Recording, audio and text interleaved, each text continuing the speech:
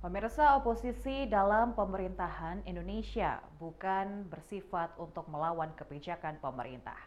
Menurut dosen komunikasi UB, konsep oposisi di Indonesia adalah sebagai mitra kritis pemerintah sehingga kebijakan dan program pemerintah dapat dikritisi dengan lebih baik.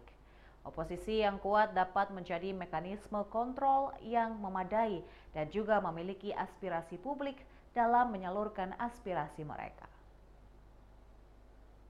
Keberadaan oposisi dalam pemerintahan di Indonesia masih dibutuhkan. Namun pengertian oposisi bukan sekedar berbeda atau melawan kebijakan pemerintah. Dosen Komunikasi Politik UB Ferdi Firmantoro menjelaskan bahwa oposisi yang dimaksud dalam hal ini adalah menjadi mitra kritis dari pemerintah dan mewakili aspirasi publik.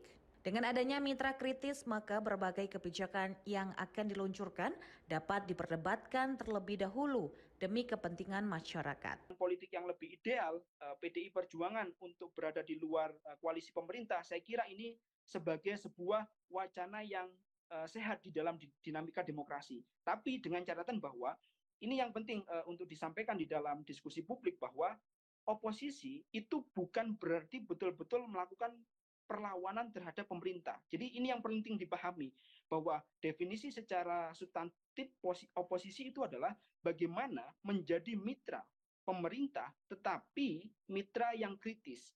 Mitra dalam hal ini adalah mitra yang bisa memberikan uh, masukan yang konstruktif. Karena apa? Karena kalau itu mengandalkan dari pihak yang berada di dalam internal, biasanya kan mereka lebih apa? Lebih sungkan, lebih ewoh pakewoh gitu ya. Tapi kalau menggunakan uh, pihak yang berada di luar kekuasaan itu harapannya bisa lebih objektif. Ferdi berharap pada pemerintahan pasca Presiden Joko Widodo terdapat peran oposisi yang lebih kuat sehingga berbagai kebijakan yang ada dapat dicermati secara lebih maksimal sebelum menjadi kebijakan yang menyangkut hajat hidup orang banyak.